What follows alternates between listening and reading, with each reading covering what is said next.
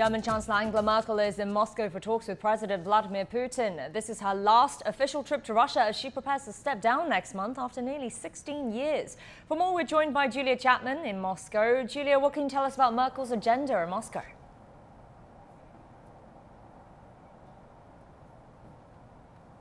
That's right. This is Angela Merkel's final visit to Russia as German Chancellor. In fact, her 20th in those 16 years. And Angela Merkel has never uh, shied away from maintaining dialogue with President Vladimir Putin, despite many accusations that have been uh, sent from the West to his government.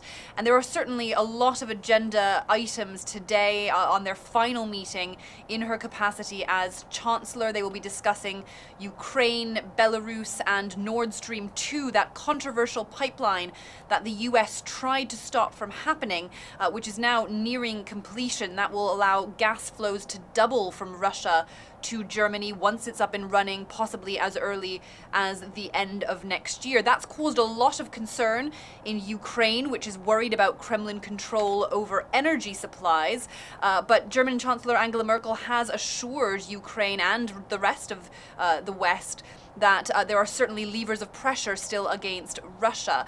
And of course, there's some symbolism to the date that Angela Merkel has chosen to visit Russia. It's exactly one year after Alexei Navalny, the Russian opposition figure, uh, was poisoned. Uh, of course, uh, he was then later airlifted to Germany for medical treatment, where doctors and scientists said he was poisoned with a nerve agent. Now, Russian the Russian government denies any involvement in that. They say that the poisoning took place instead when when Navalny was being taken to Germany. Uh, but certainly, Angela Merkel has never shied away from raising human rights issues, and she is expected to do so again today. And Julia, will they be talking about uh, Afghanistan?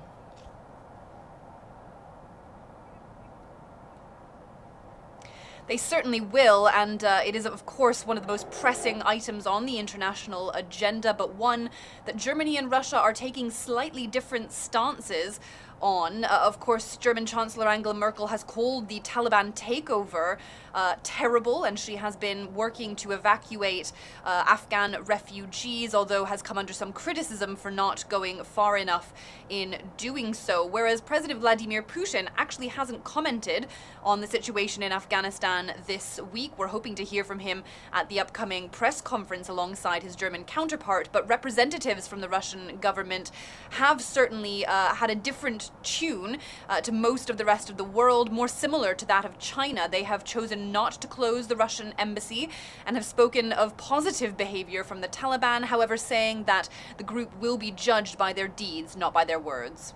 All right, thank you so much, Julia Chapman, for us in Moscow.